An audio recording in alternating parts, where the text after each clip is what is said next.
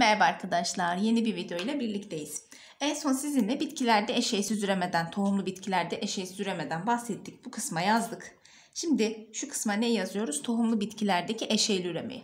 Arkadaşlar şöyle güzel bir çiçek çizimiyle geldim size. Siz de böyle çizim boyayın. Hem kafanız dağılsın hem de e, güzel bir görüntü oluşsun diye. Şimdi bakın e, tohumlu bitkilerde üremeyi sağlayan yapı çiçektir. Bakın tohumlu bitkilerde hem açık tohumlularda hem kapalı tohumlularda arkadaşlar üremeyi sağlayan yapı çiçektir. Biz şimdi burada kapalı tohumlulardaki çiçeğin yapısını ayrıca buradaki üremeyi göreceğiz. En son açık tohumlularda nasıl gerçekleşiyor üreme olayı ondan da bahsedeceğim.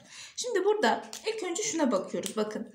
Ee, kısımlarını ilk önce yazmak istiyorum arkadaşlar. Daha sonra ise e, yapılarından, organlarından bahsedeceğim. İşte üreme nasıl gerçekleşiyor bundan bahsedeceğiz. Arkadaşlar çiçeğin bakın şöyle alt taraftan başlıyorum. Şu çiçek sapıdır. Çiçek sapı. Daha sonra şu e, çiçeğin konumlandığı kısım bakın şu kısım çiçek sapının son kısmı çiçek tablasıdır. Çiçek tablası. Daha sonra arkadaşlar şu altta yeşil olan yapraklar sepal dediğimiz sepal veya diğer bir ismiyle kalix dediğimiz ya da Türkçe ismiyle arkadaşlar e, çanak yaprak dediğimiz yapraklardır. Çanak yaprak. Çanak yaprağın en iyi örneği nerededir biliyor musunuz? Çilekte hani o üstünde yeşil e, yaprakçıklar vardır ya onlar nelerdir? Sepallerdir yani çanak yapraklardır. Daha sonra geliyorum renkli kısımlara. Arkadaşlar renkli olan bakın şu turuncuyla boyadığım büyük yapraklar petallerdir. Petal. Diğer bir ismiyle korolla. Korolla. Tabi Türkçe ismini de yazayım arkadaşlar. Türkçe ismiyle de taç yapraklardır. Taç yaprak. Bu yapraklar daha böyle renkli, daha gösterişli olur. Bunun sebebi böcekleri kendine doğru çekip tozlaşmayı sağlamak içindir. Sonra geliyorum biraz daha iç kısma. Arkadaşlar iç kısımda tabii ki dişi ve erkek organ var. Bakın dişi ve erkek organa baktığımızda şurası ilk önce erkek organdan başlayalım. Sapçık dediğimiz kısımdır. Sapçık erkek organın. Şu kısımda arkadaşlar başçık dediğimiz kısımdır. Başçık. Şimdi bu başçığın eline kesti falan var ama ben bunu erkek organda üremeyi anlatırken anlatacağım size. E, çiçeğin hani üstünü çok da boyamak hani e, çok böyle üstüne şeyler çizmek istemiyorum. O yüzden sapçık ve başçık şeklinde diğer bir adıyla da anter filament. Bakın başçığın diğer adı anter. Sapçığın diğer adı filament. Filament zaten e, kampçı olarak da kullanıyoruz değil mi? Biz filamenti kampçıya da söylüyoruz. O yüzden buradan da aklınızda kalabilir. Bu bizim erkek organ. Şimdi geliyorum dişi organdaki kısımlara. Arkadaşlar dişi organdaki kısımlara baktığımız zaman bakın şu en üstte bulunan kısım dişicik tepesidir. Dişicik tepesi. Daha sonra şurası dişicik borusudur. Dişicik borusu. Şurası da arkadaşlar ovaryumdur. Ovaryum yani yumurtalıktır. Dişicik tepesinin bir diğer adı stigmadır arkadaşlar. Ee, bu şekilde zaten ikinci isimlerinde yine e, dişi üreme organında yani işte yumurtalıkta üreme nasıl gerçekleşiyor bunu anlatırken yine bu kısımları vereceğim size. Evet bizim tohumlu bitkilerde çiçeğin kısmı bu şekildedir. Şimdi tohumlu bitkiler derken tabii ki bu kapalı tohumlu bitkiler için geçerlidir. Hatta ben şuraya bir alt başlık daha yazayım arkadaşlar. Şöyle bir diyeyim kapalı tohumlu bitkiler diyelim. Çünkü açık tohumlu bitkileri de anlatacağım size. Kapalı tohumlu bitkiler. Çünkü dediğim gibi açık tohumluları da anlatacağım için karışmasın. Evet. Bu şekilde biz çiçeğin kısımlarını anlattık. Şimdi geliyoruz arkadaşlar. Üreme nasıl gerçekleşiyor? Hangi sırayla gerçekleşiyor? Bundan bahsedeceğiz ama ilk önce tohumlu bitkilerde cinsiyetten bahsetmek istiyorum. Bir de arkadaşlar eksik çiçek, tam çiçek dediğimiz çiçekler var. Bunlardan bahsetmek istiyorum. Şimdi bakın ilk önce eksik ve tam çiçekten bahsedeyim. Şu kısma yazayım. Ama farklı bir kalem alayım ki karışmasın. Şöyle. Şuraya eksik çiçek diyorum. Eksik çiçek. Arkadaşlar çiçeğin yapısında bakın şu yazdıklarımdan herhangi biri eksikse biz buna eksik çiçek diyoruz. Bakın. Herhangi bir herhangi bir organın eksik olduğu eksik olduğu çiçektir. Mesela bazı çiçeklerde işte yumurtalık vardır. Yani dişi organ vardır, erkek organ yoktur. Eksik çiçektir ve erkek organ vardır, dişi organ yoktur. Eksik çiçektir. O şekilde düşünebiliriz. Bir diğeri de tam çiçektir arkadaşlar. Tam çiçek zaten tam çiçek benim bu çizdiğim çiçektir.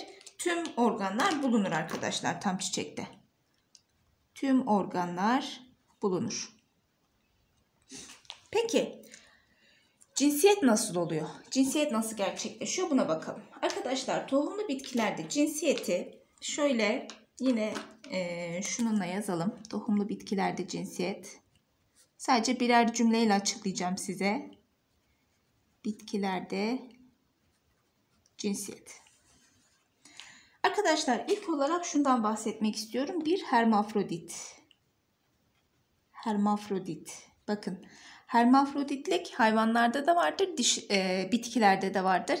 Ve biz bitkilerdekine genelde erselik çiçek diyoruz. Erselik bitki veya. Hermafroditlik hem dişi üreme organı hem de erkek üreme organının bulunmasıdır arkadaşlar. Diğer bir adıyla erselik olarak geçiyor. O zaman şöyle yazıyorum. Dişi artı erkek bulunacak. Daha sonra geliyorum ikincisine. Diklin yani eksik çiçek arkadaşlar. Diklin yani eksik çiçek. Yani şurada bahsettiğim aslında eksik çiçek. Biz buna diklin de diyoruz. Tabi burada cinsiyette de anlatıyoruz arkadaşlar bunu. Çiçeklerde erkek ya da dişi organdan bir tanesinin bulunmasıdır. Yani şöyle yazacağım ben. Dişi veya erkek organın bulunması. İkisi birlikte bulunmuyor. Biz o yüzden buna zaten eksik çiçek diyoruz. Geliyorum üçüncüsüne arkadaşlar. Monoik. Monoik bitki. Yani çift e, tek evcikli. Monoik evet tek evcikli. Bir an karıştırdım mı diye düşündüm. Tek evcikli arkadaşlar. Nedir monoik? Hem dişi üreme organının hem de erkek üreme organına aynı ağaçta bulunmasına biz monoik bitki veya tek evcikli bitki diyoruz. Yani tek bir tane ev var. Dişi de erkek de o evin içerisinde öyle düşünün. O zaman şöyle yazıyorum. Yine dişi artı erkek diyorum ama bu ağaç için geçerli arkadaşlar. Dişi ile e, erkek organ tek bir ağacın üzerinde bulunuyor. Geliyorum sonuncusuna. Biraz böyle sıkıştırmış gibi oldum ama Dioik bitki. Bu da iki evcikli. İki evcikli. Bu nasıl olacak? Arkadaşlar bunda da dişi farklı bir ağaçta, erkek organ farklı bir ağaçta. Yani e, iki tane ağaçta evleri olduğu için hani öyle düşünün. İki tane evleri var bunların. Birinde dişiler yaşıyor, birinde erkekler yaşıyor. O şekilde hani karşıdan karşıya döllenme oluyor. Çünkü polenler rüzgarla işte böceklerle taşınıyor. O şekilde döllenme olayı gerçekleşiyor. Biz buna da e, iki evcikli diyoruz. Yani dişi, erkek farklı ağaçta. Farklı ağaçta. Burada arkadaşlar aynı ağaçta o yüzden tek evcikli. Diğerinde ise farklı ağaçlarda o yüzden iki evcikli diyoruz. İşte bizim e, tohumlu bitkilerdeki bu çiçeğin yapısı ve cinsiyet olayı bu şekilde. Şimdi geleceğiz e, üreme olayına. Arkadaşlar eşeğil üreme hangi basamaklarda gerçekleşiyor? İlk önce bu basamakları yazacağım ama basamakları yazmadan önce şu notu da vereyim ben. Olur ya karşınıza çıkabilir. Şöyle bir not yazayım. Hani az önce dioik bitkiden bahsettik ya. Dioik bitkide neydi? Erkek farklı ağaçta, dişi farklı ağaçtaydı. Arkadaşlar bir ağaç sadece erkek e, organ taşırsa bu çiçeğe biz staminat diyoruz. Bakın sadece sadece erkek organ taşıyan çiçeğe staminant staminant deniliyor. Sadece dişi organ taşıyorsa arkadaşlar kapellat deniliyor ya da karpellat. Sadece dişi organ taşınırsa karpellat denir. Olur ya belki karşınıza çıkar böyle not olarak bulunsun ama ben çok da önemli olduğunu düşünmüyorum. Şimdi gelelim üremenin basamaklarına. Ben ilk önce basamak basamak yazacağım. Daha sonra o basamakları her birini anlatacağım açıklayıcı olarak. Şimdi arkadaşlar şöyle diyorum eşeğli üreme basamakları diyorum. Eşeğli üreme basamakları. Bu basamakların hangi sırayla gerçekleştiğini bilmeniz önemlidir. Çünkü sorularda bu basamaklarla ilgili de çıkabilir arkadaşlar. Mesela hangisi döllenmeden önce gerçekleşir, hangisi döllenmeden sonra gerçekleşir gibi sorular çıkabiliyor. O yüzden bu basamakları bilmemiz gerekiyor. Şimdi bizim birinci basamağımız üreme hücresi oluşturma. Üreme hücresinin hücresinin oluşumu. Tabi bu üreme hücresinin oluşumu erkek ve dişi organda ayrı ayrı gerçekleşecek. Onları ayrı ayrı anlatacağım size. Yine şekil üzerinde de göstereceğim. Daha sonra arkadaşlar ikinci evremiz tozlaşma olayıdır. Tozlaşma. Sonrasında tozlaşma gerçekleşti döllenme olayıdır. Döllenme olayı. Sonra arkadaşlar döllenme gerçekleştikten sonra da ne olacak artık? tohum oluşumu gerçekleşecek. Tohum oluşumu ve son basamağımızda da meyve oluşumu gerçekleşecek. Bakın meyvenin oluşma amacı şudur. Tohumu korumak. Unutmayın. Aşağıdakilerden hangisi eşeğli üremede en son gerçekleşen olaydır diye bir soru çıkarsa en son hangisi gerçekleşiyormuş? Meyve oluşumu. Meyvenin oluşma amacı tohumu korumaktır. Mesela bizim o işte Zeytin yiyoruz. içinde çekirdek var. Etrafındaki etli kısmını yiyoruz. O etli kısmın oluşma amacı neymiş? Oradaki tohumu yani çekirdeği korumak. Elma yiyoruz içinde tohumlar var yani çekirdekler var. Bu çekirdeklerin dışında oluşan meyve, etli kısım bizim yediğimiz kısım arkadaşlar o tohumu korumak için oluşuyor. Bunu da unutmayalım. Tabii bunun tam tersi gibi hani şeyleri düşünebilirsiniz. Mesela çiçeğin e, çekirdekleri hani dışarı çile çiçek demişim çileğin arkadaşlar çekirdekleri mesela dış kısmındadır. O da onun adaptasyonu ile ilgili bir durumdur. Tabii böyle istisnalar bulunabiliyor. O zaman isterseniz hemen ilk basamağımızdan başlayalım arkadaşlar. Bir diyoruz üreme hücresinin oluşumu. O zaman şöyle bir yan başlık yazıyorum ben. Şöyle bir üreme hücresinin hücresinin oluşumu. Şimdi üreme hücresinin oluşumunu anlatırken iki alt başlıkta anlatacağım. Çünkü e, erkek üreme hücresinin oluşumu ve dişi üreme hücresinin oluşumu farklıdır arkadaşlar. Yani ilk önce polen oluşumundan bahsedeceğiz. Sonra da yumurta oluşumundan bahsedeceğiz. İsterseniz şöyle ilk önce yine bir A diyelim yan başlık yazalım. Polenin oluşması. Arkadaşlar ilk önce şekil üzerinden göstereyim. Nasıl gerçekleştiğini daha sonra yazı olarak zaten yazarız. Arkadaşlar şöyle vakit kaybı olmasın diye ben hemen çizdim. Bakın ilk önce kısımlarını göstereyim. Daha sonra hani enine kesit aldık zaten burada. Bu enine kesitteki yapıların mayoz bölünmesini anlatacağım size. Şimdi bakın şu bizim erkek organı neydi? Başçık yani anter dediğimiz kısmıydı. Başçık. Şurası da filament yani Sapçık dediğimiz kısımda arkadaşlar. Sapçık. Şuraya da anter yazalım. Anter. Şimdi bakın. Ee, biz bundan enine bir kesit aldığımız zaman şu dörtlü bakın sanki dört tane böyle yuvarlak iç içe geçmiş gibi biz bu yapıya teka diyoruz. Teka. Bu her birine arkadaşlar tabii ki teka diyoruz. Daha sonra bu tekayı tekalardan bir tanesini aldım biraz daha büyüttüm. Burada arkadaşlar e, polen keseleri bulunur. Bakın şunlar polen keseleridir. Polen kesesi. Bu polen keselerinin içerisinde polen ana hücreleri bulunur. Polen ana hücrelerinin diğer adı mikrospor ana hücresidir. Yani ben şuradan aldığım 2N kromozomlu bu hücre neymiş? Polen ana hücresi. Diğer bir adıyla mikrospor ana hücresidir. Mikrospor ana hücresidir. Daha sonra arkadaşlar bu mikrospor ana hücresi mayoz bölünme geçiriyor. Bakın mayoz 1'i geçiriyor. Mayoz 1. Burada en kromozomlu iki tane hücre oluşuyor. Daha sonra arkadaşlar mayoz 2'yi geçiriyor. Mayoz 2 yine en kromozomlu 4 tane hücre oluşuyor ve tek çekirdeklidir. Bunlar bir kere endomitoz geçiriyorlar. Bakın şurada endomitoz olayı vardır. endomitoz bir kere arkadaşlar. Bu bir kere geçirdikleri endomitoz sayesinde içerisinde bulunan çekirdekler bölünür. Bakın sitoplazma bölünmez sadece çekirdek bölünür. Şöyle sadece çekirdek bölünür ve arkadaşlar burada şöyle iki, ikişer tane çekirdeği olan dört tane polen hücresi oluşur. Dört tane polen. Tabi bunların şöyle dış kısımlarında bir de zarları vardır. Birazdan bunu daha detaylı olarak yapısını anlatacağım. Şöyle dış taraflarında bir de zarları vardır.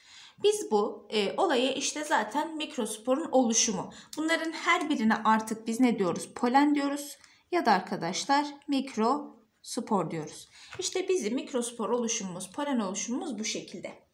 Peki polenin içeriğine baktığımızda yani bakın şuradaki poleni de alıp büyütürsem ben eğer içerisinde neler var bakalım. Şöyle büyükçe bir polen çizelim. Bakın dış tarafında şöyle tırtıklı yapıya sahip bir zar vardır. Biz bu zara eksin zar diyoruz. Eksin zar. Yani dış zar. Bu arada şuraya yanlış yazdım bir dakika. Şöyle sildim arkadaşlar. Şöyle eksin zar. Yani dış zar. Bir de iç kısımda zarı vardır arkadaşlar. Bu da intin zar. İntin zar. Zaten bakın exit'ten gelsin aklınıza. Exit ne demek? Dışarı demektir. Exit dışarıda olan, intin de içeride olan zardır arkadaşlar. İç zar. Şimdi bakın bunlar çok fazla sorulmaz ama şu sorulur. İçerisinde bulunan çekirdekler sorulur. Arkadaşlar iki tane çekirdek vardır içerisinde. Şöyle farklı olduğu anlaşılsın diye bu şekilde çiziyorum. Bu çekirdeklerden bir tanesi üretken çekirdektir. Yani diğer bir adıyla generatif çekirdek. Generatif yani üretken çekirdek. Üretken çekirdek. Şimdi bakın burada en kromozomluydu ya hala burada nedir? En kromozomludur. Bir de bir diğer çekirdeğimiz vardır. Onu da şöyle renkli kalemle göstereyim yine. Arkadaşlar burada vejetatif çekirdektir. Vejetatif yani diğer bir adıyla tüp çekirdeğidir. Tüp çekirdeği. Bu da yine nedir? En kromozomdur. Peki generatif ve vejetatif çekirdek ne işe yarıyor? Hemen görevlerini yazıyorum. Arkadaşlar generatif çekirdek ee, üreme sırasında bakın tozlaşma gerçekleştikten sonra ilk önce tüp çekirdeği yani vejetatif çekirdek devreye girer ve tüp oluşumunu gerçekleştirir. Birazdan polenin çimlenmesi şeklinde deyip anlatacağım bunu size tüp oluşturur arkadaşlar. Tüp oluşturduktan sonra generatif çekirdek o tüpün içerisine girer ve bir kere mitoz geçirir. iki tane sperm çekirdeğini oluşturur. İşte vejetatif çekirdek bakın tozlaşma tozlaşma sırasında tüp oluşturur. Tüp oluşturur. Generatif çekirdek ise arkadaşlar dölleme için dölleme için sperm oluşturur. Sperm oluşturur. İşte bizim e, erkek üreme organında polenin oluşumu bu şekilde gerçekleşiyor. Bir de polenin çimlenmesi olayı vardır. Polenin çimlenmesini de hemen şuraya yazayım. Şimdi bunları yazarak anlatmadım. Çünkü şekil üzerinde anlatmak daha akılda kalıcı oluyor. Siz sadece burada isimlerini bilin ve sırasıyla zaten neler gerçekleştiğini bilin yeterlidir arkadaşlar. O yüzden yazıyla anlatmaya inanın bana hiç gerek yok. Ee, şekil üzerinde anlamak daha kolay. Şu okları takip ettiğinizde zaten neyin ne olduğunu kolaylıkla anlayabileceksiniz. Şimdi geliyorum. Polenin çimlenmesini de şuraya anlatayım. Polenin çimlenmesi yani az önce dedim ya tüp oluşturuyor diye. Şimdi bu tüp oluşumu nasıl gerçekleşiyor buna bakalım. Yine şeklini çizeyim ben geleyim. Evet hemen şeklimizi çizdim. Hemen şekil üzerinde gösterelim arkadaşlar neyin ne olduğunu. Şimdi bakın burada bizim polenimiz ne yapıyor? Burada bir zar açıyor bakın buradan. Zarın bir kısmı açılıyor. Ve bu zarın açılan kısmından vejetatif çekirdek yani tüp çekirdeği hani ben tüp çekirdeğini burada turuncuyla yazdım ya bakın şurada turuncuyla yazdım isterseniz burada da şöyle üstünden turuncuyla geçin tabi siz pdf olarak çıkarırsanız bunların hepsi siyah beyaz olarak çıkacaktır ama video izlediğinizde elinizde kalemleriniz varsa aynı renkte siz de üstünden geçin belli olsun. Şimdi bakın buradaki vejetatif olan çekirdek şöyle uzuyor arkadaşlar ve tüp oluşturuyor. Tüp oluşumu. Bunu kim oluşturuyormuş? Vejetatif çekirdek oluşturuyormuş arkadaşlar. Biz buna polen tüpü diyoruz. Polen tüpü. Bu tüp birazdan e, diş üreme organında işte yumurta oluşumunu anlatırken size mikropil açıklığından bahsedeceğim. Bu tüpün ucu mikropil açıklığına kadar gider ve orada arkadaşlar e, birazdan anlatacağım sperm çekirdeklerinin mikropile girmesine e, yardımcı olur. O yüzden de polen tüpü oluşumu oldukça önemlidir. Sonra geliyorum. Diğerinde yeşille yazmıştım. Yine devam edelim. Arkadaşlar şuradaki generatif çekirdek generatif çekirdek ne yapıyor bu? Polen tüpü oluştuktan sonra hemen buradaki polen tüpünün içerisine giriyor ve bir kere mitoz geçiriyor. Bir mitoz. Mitoz geçirdikten sonra arkadaşlar iki tane çekirdek oluşturur. Biz bunlara ne diyoruz? Sperm çekirdeği diyoruz. Bu sperm çekirdeklerinden bir tanesi gidip yumurtayı dölleyecek. Bir tanesi de polar çekirdekleri dölleyip endosperm oluşturacak. Birazdan anlatacağım daha iyi anlayacaksınız. İşte polenin çimlenmesi dediğimiz olay da bu şekilde oluşuyor. Ama bakın şunu unutmayın. Burada oluşan generatif çekirdek, sperm çekirdekleri, işte vejetatif çekirdek bunların tamamının genetik yapısı birbiriyle aynıdır. Neden? Çünkü mitoz bölünmeyle oluşuyor. Çeşitlilik nerede olur arkadaşlar? Çeşitlilik şuradaki mayoz sırasında olur. Mayozdan sonra gerçekleşen endomitoz, burada gerçekleşen mitoz olayı bunların hepsinde e, çeşitlilik olmaz. Mutasyon hariç. Ama biz mutasyonları genelde olmamış kabul ediyoruz. Bu yüzden de e, çeşitlilik olmaz diyoruz. Tamam Sakın unutmayın bunu. Evet böylece biz işte üreme hücresinde polenin oluşmasını anlatmış olduk. Şimdi gelelim sayfamızı değiştirelim ve B diyelim. Yumurta oluşumu diyelim arkadaşlar. B yumurta oluşumu. Arkadaşlar yumurta oluşumu da yine şekil üzerinde göstereceğim ben. Çünkü şekil üzerinde daha iyi anlaşılıyor. O yüzden ben yine şeklimi çizip geliyorum. Arkadaşlar hemen çizdim şeklimi. Yine şekil üzerinde kısımlarımızı gösterelim ilk önce. Daha sonra da moyoz bölünme, mitoz bölünme olayını anlatacağım. Şimdi bakın ilk önce ben şekil üstünde kısımları göstereyim. Şu dişi üreme organı. Dişi üreme organının baş kısmına biz ne diyoruz? Stigma. Stigma yani dişicik tepesi. Dişicik tepesi. Ortada bulunan kısım arkadaşlar bakın boyun gibi olan kısım. Buraya da stilus diyoruz. Stilus. Diğer bir adıyla dişicik borusu. Dişicik borusu. Alt tarafında bulunan kısım ise yumurtalıktır. Şimdi bakın bu yumurtalığın içerisinde yani aslında şurası nedir? Ovaryumdur. Ovaryum. Yani yumurtalıktır. Arkadaşlar yumurtalığın içerisinde bakın şöyle bir tohum taslağı bulunur. Tohum taslağı. Tohum taslağının içerisinde ise e, yumurta ana hücrelerinin bulunduğu arkadaşlar yumurta keseleri vardır. Bu yumurta keseleri yani e, tohum taslağı aslında şöyle diyebiliriz. Funiculus bakın burada funiculus dediğimiz bir yapı vardır arkadaşlar. Burada hani şu an göstermek birazcık e, çok gerekli değil. Çünkü hani kafamız karışmasın diye sadece funiculus'un ne olduğunu yani göbek bağı dediğimiz yapının ne olduğunu bilin. Burada tohum taslağı e, funiculus dediğimiz göbek bağı dediğimiz yapıyla yumurtalığa bağlanıyor. Yani buradaki hani yumurtalık ovaryum diyoruz ya mesela şurada bir bağ olduğunu düşünün. Şöyle isterseniz yine de göstereyim. Bu yapı neymiş? Funiculus. Funiculus yani göbek bağı. Göbek bağı. Ne işe yaradığını da söyleyeyim arkadaşlar. Hemen yazayım altına. Tohum taslağını tohum taslağını ovaryuma bağlar ovaryuma bağlı. Önemli özelliği budur. Şimdi bu tohum taslağının içerisinde de arkadaşlar embriyo kesesi vardır. Bakın şu yapı embriyo kesemizdir. Bu embriyo kesesini şuraya dışa çizdim. Embriyo kesesi. Arkadaşlar bu kese bakın şuradaki içte bulunan kesedir. Hatta şöyle göstereyim okla.